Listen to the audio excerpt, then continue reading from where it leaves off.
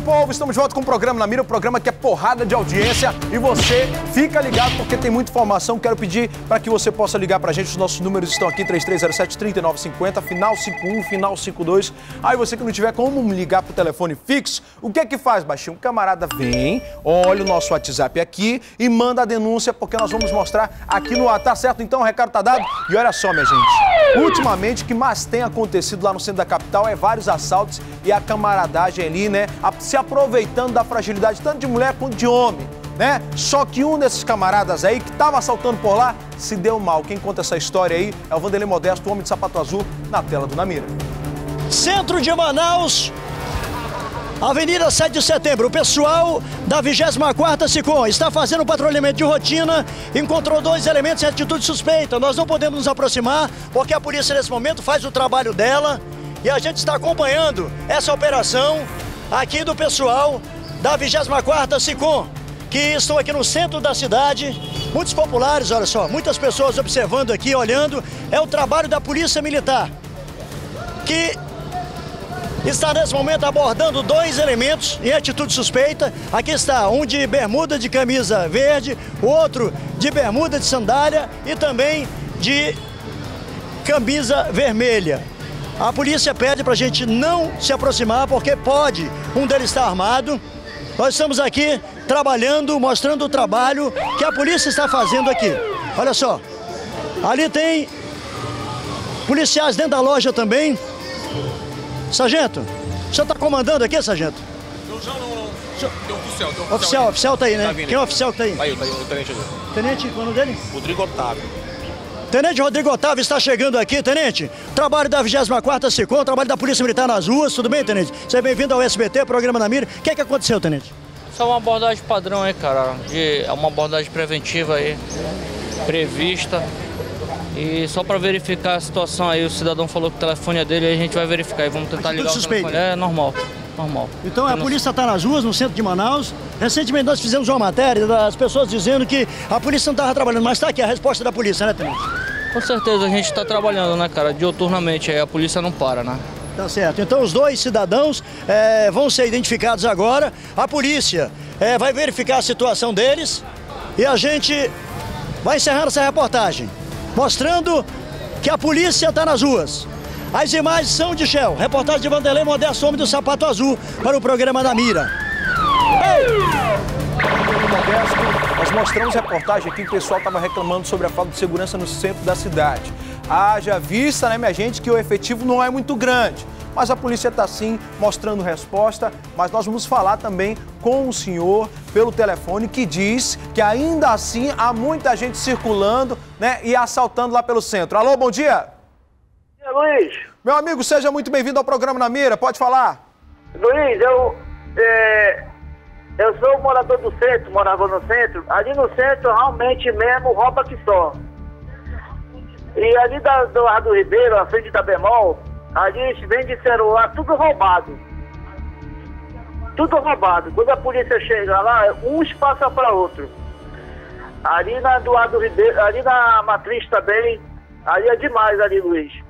E alguma vez a polícia já fez fiscalização com, essa- com esses camaradas? Olha, a polícia vai lá, corre, descorre tudinho, não fica nenhum.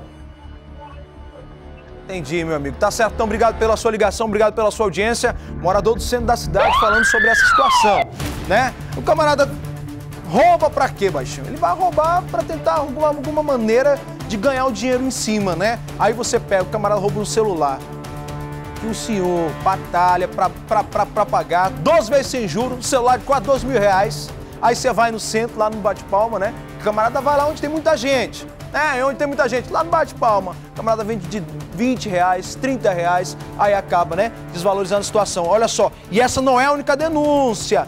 Não é a única denúncia. Nós vamos pro Tancredo Neves, na Zona Leste de Manaus, onde a audiência é muito grande, para falar sobre a situação naquela área. Alô, bom dia. Bom dia.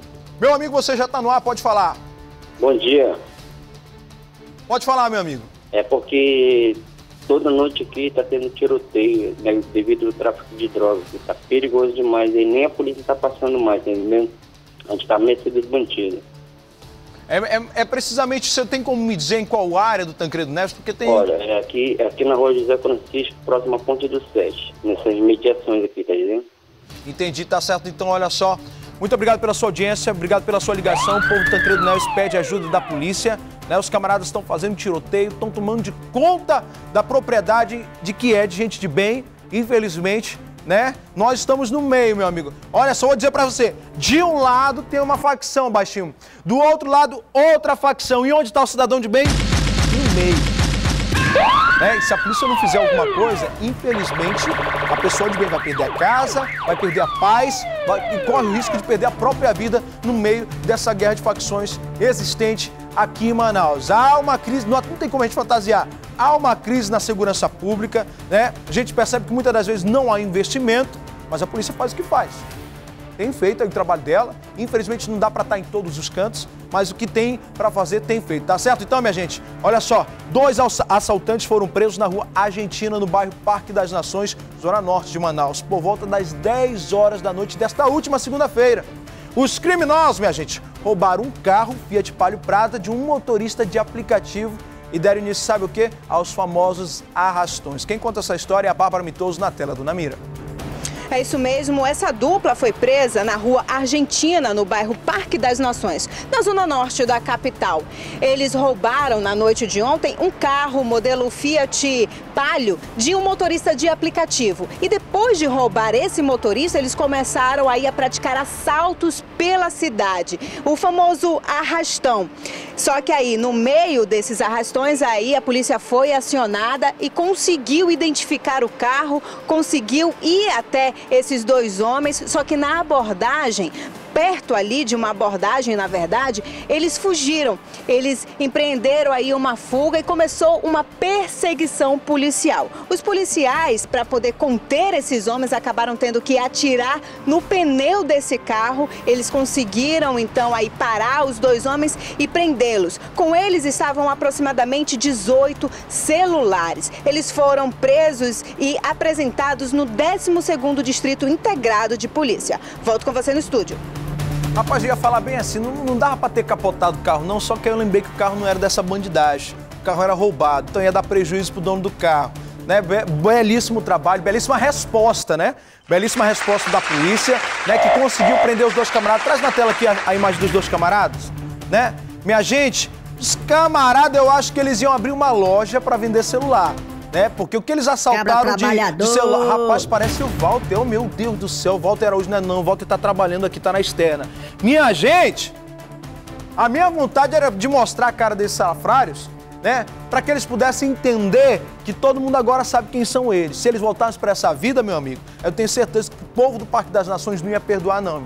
Não ia perdoar, não. E olha só, 10 e meia, minha gente, quero mandar um abraço para todo mundo que nos assiste. Você do Facebook, um grande abraço. Um abraço pro povo do Grande Vitória, que mandaram mensagem aqui pro Daniel Barbosa e pediram para eu mandar um abraço lá pro povo. Jonilson, que me assiste pelo Facebook, quem mais?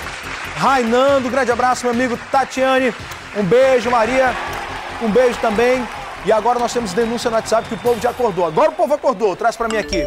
Luiz, a polícia tem que fazer uma varredura aqui na Manaus Moderna. Está horrível. Muitas pessoas fumando drogas, agora não é mais escondido, é na cara dura, não aguentamos mais sentir tanto odor de droga. Eles vendem drogas como se estivessem vendendo bombom em frente a Manaus Moderna. A área da 24 é, minha diretora?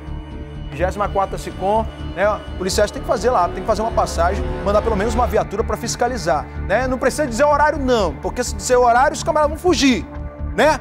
Só passa lá, ver se isso está acontecendo e vamos tentar diminuir isso aí. Porque tem gente de bem que trabalha lá. Os camaradas que vendem ali na feira ficam lá a noite toda, minha gente. É, então tem que acontecer isso aí, tá certo? Diga lá, minha Mais um, minha, meu amigo e minha amiga, foi preso envolvido com o tráfico de drogas. Por quem? Pela Rocan. E quem conta essa história é o Vanderlei Modesto na tela do Namira. Uma e meia da tarde da última segunda-feira. O sol daqueles de fritar ovos no asfalto. Os ursinhos cariosos da Honda Ostensivo Cândido Mariano receberam um Toronto. Alô? É da Rocan? É da Rocan. É o pessoal da viatura 4741. Olha, é, eu queria dizer que, que aqui na rua Barbosa Filho tem um homem ele está traficando e ele tem arma. Como é que é, senhora? Ele está tá, tá traficando e tem arma. Onde é que fica isso, senhora? No bairro Riacho Doce, na zona norte de Manaus. O apelido dele é Mano V. E a polícia, em deslocamento, uh, uh, uh, chegou até o Mano V. O nome do cidadão é Vinícius da Silva Sarmento, de 27 anos de idade.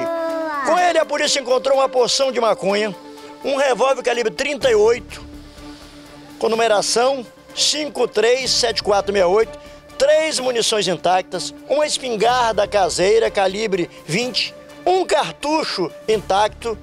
Ele já foi preso, ele é traficante e também estava com a tornozeleira raspada. Foi encaminhado ao 6 Distrito Integrado de Polícia e agora vai ter que pagar pelo crime que cometeu.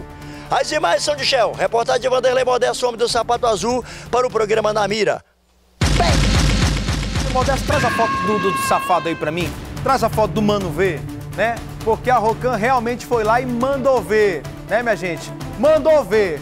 Era o Mano ver, o camarada perdeu aí, né? Perdeu o serviço dele. Sabe por quê? Porque não tava fazendo nada que preste. Tem tornozeleira, não tem?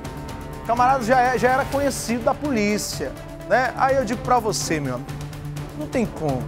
Não tem como você ir contra os policiais da Rocan que são preparados para fazer esse tipo né, de prisão, né, para fazer esse tipo aí de apreensão de drogas também, que muitas das vezes eles conseguem. Olha só, balanço de precisão, uma arma de grosso calibre sim, né? Aí o camarada não gostou mais da tornozeleira e, baixinho. Né? Parece que não pagou aí a, a internet, aí o Wi-Fi foi cortado. Agora eu digo para você, é o único? Não é o único, né? É o único? Não é o único. Mas menos um, prendendo de um por um, a gente vai conseguir diminuir essa situação. Olha só, minha gente, você, vou chamar a atenção para você, para que você possa atentar para esse número aqui. Foca aqui, baixinho, foca aqui, baixinho. Esse camarada foi preso aí por conta de denúncia feita pelo WhatsApp da Rocan. 99280 7574. Luiz, eu não decorei. 99280 7574. Esse daqui nunca mais vai fazer arruaça por ali, por aquela área. Acabou para ele, tá certo? E olha só, minha gente, falando em Rocan e os ursinhos carinhosos, quero mandar um abraço pro meu amigo Brunão da Técnica, que está aniversariando hoje, meu amigo. Né? Ele, se é um ursinho carinhoso aqui da TV em Tempo. Meu amigo, Deus lhe abençoe, que você consiga alcançar seus objetivos e é nós, tá certo? Minha gente, 10h35 é a única denúncia que tem por aqui. Foi aquela lá do WhatsApp? Não, tem mais denúncia. Eu vou trazer para você aqui, ó, na tela do Namira, porque tem muita coisa acontecendo aqui em Manaus. Bom dia! Vila do Puraquequara tá tomada por traficantes menores. Pelo amor de Tá horrível, em cada esquina tem um vendendo droga, na Rua 2 e Rua 1. Rua 2 e Rua 1. Tá certo? Olha só, nós vamos mandar, se Deus quiser, Rua 5, rapaz. Rapaz, o homem tá. Eu tô aqui aéreo, né? Só pode. Rua 2 e Rua 5, meu povo. Rua 2, Rua 5. Olha só, nós vamos tentar mandar uma equipe de reportagem para tentar falar com as pessoas lá, né? Como eles estão denunciando, são menores. A maioria dos traficantes, menores de idade, tá certo, minha gente? E olha só, aí não pode, né, meu amigo? É porque aí o menor de idade sabe que não pode ser preso. Sabe que não pode ser preso, baixinho. Ele apronta. A vontade que eu tenho de pegar um menor desse aqui, ó, e fazer ele aprender o que a mãe dele não ensinou, tá certo? E olha só, no último domingo, um sorveteiro de origem haitiana foi agredido a pauladas em plena luz do dia, minha gente, lá na Praça 14. Sabe por quê? Olha o motivo, só porque ele estava apertando a buzina do carro de sorvete. O agressor se deu mal para deixar de ser abestalhado, né, minha gente? A minha buzina não funciona mais. Espera aí, deixa eu tentar aqui, minha gente. Deixa eu tentar aqui. Será que era essa buzina aqui, baixinho? Patrícia de Paula tem as informações. Foi desse jeito mesmo que você está falando. E olha, tudo aconteceu na Avenida Martins, bem no centro da cidade. E segundo aí as pessoas que moram ali, que é uma vila que está aí nessa rua, falou que esse haitiano passava diversas vezes vendendo esse picolé para sustentar a família. E o rapaz passou para vender o picolé dele como ele faz diariamente. E ele foi até lá em cima, perto da casa desse agressor que atingiu o haitiano. Aí foi na hora que ele vinha descendo, ele já abriu o portão da casa dele o agressor para atingir a vítima e foi na hora que ele foi correndo atrás do pau para dar ele, mandando ele embora aqui falando que ele ia matar ele. E ele correu, diz, tava nervoso, ele, o haitiano. Chegou até a cair a tampa dele do picolé e desceu quando dobrou. Foi na hora que ele deu a paulada na, na, no braço e nas costas dele, ele chegou a desmaiar. Ele só não fez mais isso por causa das, das populações que não deixaram ele agredir mais ele. Ele foi socorrido pela SAMU. Foi para ganhar o dinheiro dele digno e deu raiva na hora, né? Todo mundo ficou indignado lá perto da minha casa. Essa denúncia veio parar toda aqui no 24º DIP. Vamos conversar agora com o delegado Marcelo, que vai falar o que acontece a partir desse momento, porque também tem informações que havia um envolvimento aí, uma suspeita de envolvimento com drogas e também com a própria intolerância. Então, o que, que acontece a partir de agora, delegado? É, agora esse, nós instalamos um inquérito pelo crime de tentativa de homicídio, né? E aí agora nós vamos, vamos apurar, né? Vamos aprofundar as informações que nós já obtivemos dessa data. Agora, eu quero destacar que em em poucas horas a gente conseguiu fazer a detenção desse indivíduo, né? Ou seja, foi uma ação bem exitosa da nossa parte. Assim que conseguimos a imagem, fomos atrás e conseguimos identificá-lo e capturá-lo. O rapaz foi identificado como Marcelo dos Santos. Ele tem quantos anos, doutor? 42 anos. 42 anos. E a partir de agora já fica aqui no, no 24 e a partir de agora à disposição da justiça, é? É, ele vai responder em liberdade, uma vez que a gente apenas escolheu é, produzir um inquérito policial na, na, data de hoje, né?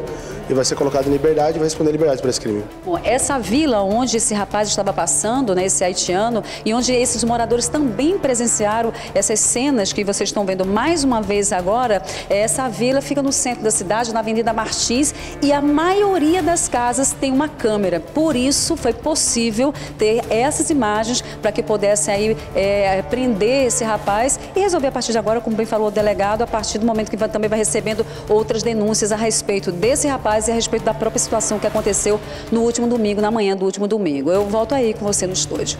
Obrigado, Patrícia de Paula, toda trabalhada no Reds. Red, para quem não sabe, é vermelho, português, né? Olha só, minha gente, tirando um pouco da brincadeira, deixa eu dizer uma coisa para você. Como é que um animal desse vai responder em liberdade?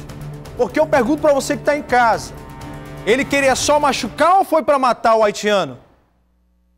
O camarada estava no hospital, saiu agora, né? Foi liberado. Mas eu pergunto para você, ele vai ser liberado, mas ele vai ter como trabalhar hoje? Vai ter como trabalhar amanhã? E o camarada desse vai responder em liberdade. Quebrou o haitiano na porrada, agrediu o camarada, né? Mas tem a oportunidade de trabalhar normal. Agora eu pergunto para você, sabe por que, que o haitiano não soltou? Sabe por que, que o haitiano não soltou o carrinho dele? Porque é o único sustento que ele tem. É dali que ele tira o dinheiro dele para pagar as contas dele. Porque se ele larga o carrinho, eu não tenho dúvidas que este animal ia quebrar o carrinho dele e ia estragar o produto dele. Agora o camarada vem lá do país dele para tentar ganhar um dinheiro aqui, né? Honestamente, diga-se de passagem, porque muito vagabundo como esse senhor eu vou chamar, vou chamar de vagabundo sim. Porque o camarada que agride uma pessoa dessa maneira, que estava trabalhando, não estava vendendo droga, né, não estava traficando, não estava estuprando ninguém, estava trabalhando, é recebido dessa maneira. E vai responder liberdade. Você teve sorte, tá, meu amigo? Você teve sorte, sabe por quê? Porque, meu amigo, vou te contar, porque se a população te pega, se a população te pega, porque ninguém suporta ver isso não, meu.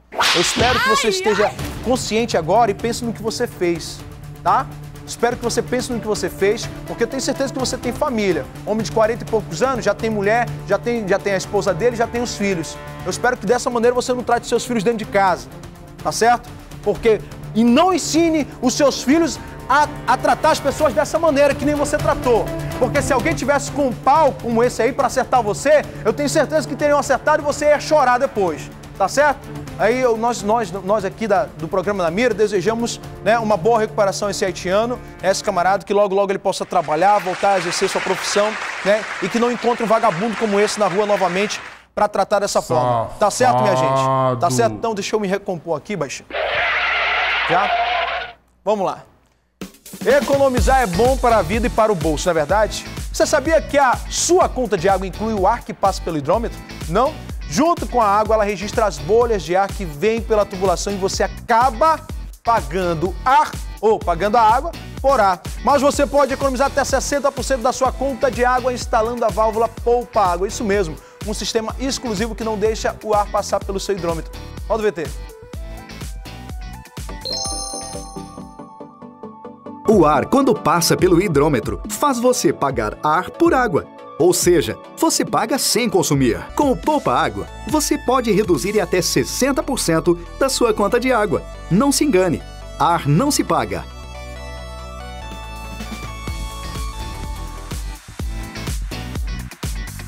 Aqui, meu povo, eu tô aqui com o hidrômetro, tá certo? Já está aqui, ó, com poupa água, ó. Tirei aqui pra você. Vem pra cá, baixinho, vem pra cá, baixinho, vem pra cá. Ou eu não vou deixar o baixinho soprar, não. Eu vou soprar, tá certo? Foca aqui, baixinho. Esse daqui é o hidrômetro da sua casa, tá certo? Comum, como você encontra em qualquer residência aqui de Manaus. Se você não está encontrando um hidrômetro como esse, meu amigo, a sua água está sendo pirateada, tá certo? Olha só como é que funciona. Eu vou soprar aqui, ó. Mexeu ou não mexeu, baixinho?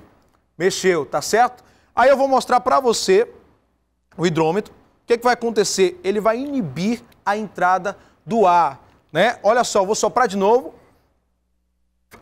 E eu não estou fingindo que estou soprando não, minha gente. Não entra o ar. Aí o que acontece? Somente passa a sua água, meu povo. Daqui vem a água externamente, entra na sua residência e você vai economizar até 60% na sua conta de água. Quer pagar menos? Quer pagar menos? Utilize o Poupa Água, minha gente. É muito baratinho, você encontra em todas as casas de construção de Manaus e muito, é muito fácil. O acesso é muito fácil e você vai economizar nunca mais. Você vai pagar, né, água por ar. Você nunca mais terá ar na sua tubulação, somente água. Poupa água aí, minha gente, ajudando você a economizar um custo muito fácil e além de que você pode instalar também facilmente. Tá certo? Então, a venda em todo o Brasil. Se você quiser mais informações, acesse o Pague Menos e use mais.com.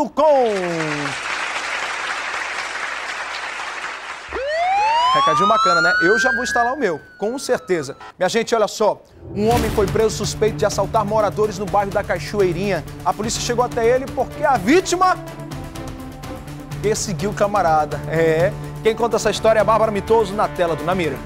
Um homem estava cometendo assaltos aí na rua Borba, esquina com a Ipixuna, no bairro Cachoeirinha, na zona sul da capital uma das vítimas acabou aí esperando que essas pessoas que estavam cometendo esse arrastão se afastassem um pouquinho, então ele entrou no seu veículo e com, começou a perseguir aí o assaltante para tentar recuperar os seus pertences. No meio do caminho encontrou uma viatura e pediu ajuda aí da polícia militar para que abordassem o homem. Então, quando a polícia abordou o suspeito, conseguiu encontrar aí os pertences das pessoas a quem ele tinha assaltado e também uma arma. Então ele foi encaminhado aí para o primeiro distrito integrado de polícia, onde foi preso em flagrante. Volto com você no estúdio.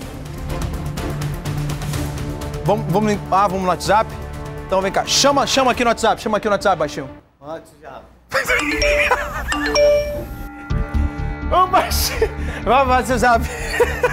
Aqui no Malzinho, os bandidos andam é na rua usando armas. Aqui na rua Iraci Neves, a polícia só desce quando alguém morre. Aqui tem muito foragido andando na rua e a polícia tá nem aí pro cidadão de bem.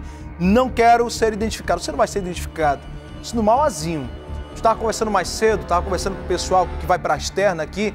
Realmente é muita reclamação lá no bairro do Mauazinho, em que assaltantes, minha gente, Realmente eles estão afirmando que assaltantes estão entrando nas ruas totalmente armados e ainda ameaçando a população de bem, né? Agora eu pergunto para você, todas as zonas de Manaus, norte, sul, leste, oeste, todas as zonas de Manaus, nós recebemos denúncia de que pessoas estão andando nas ruas com armas. Daqui a pouquinho, meu povo, daqui a pouco, meu povo, ninguém sai mais na rua com medo de ser morto. É dessa maneira, né? Aí a gente percebe, né? A gente percebe que a bandidagem tá toda armada, né? E o cidadão de bem tá só assim, ó. Anda na rua assim, ó. Daqui a pouco eu volto, sai daí não.